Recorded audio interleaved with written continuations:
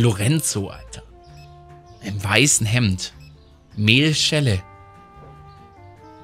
Kauft sich viermal, fünfmal Zewa, sechsmal...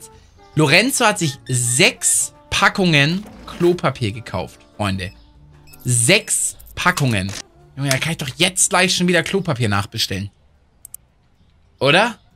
Also Real Talk. Wenn der sechs Packungen kauft, dann bestelle ich hier gleich drei Packungen. Direkt.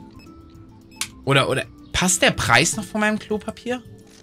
What? What? Klopapier war gratis!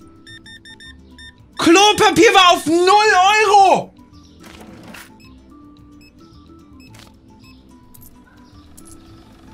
Wie?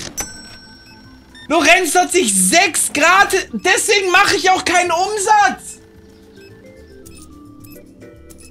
Die Leute nehmen sich einfach gratis Klopapier mit!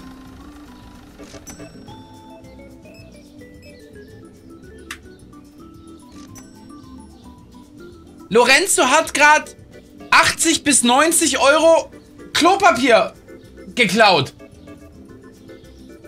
Fuck you, Lorenzo.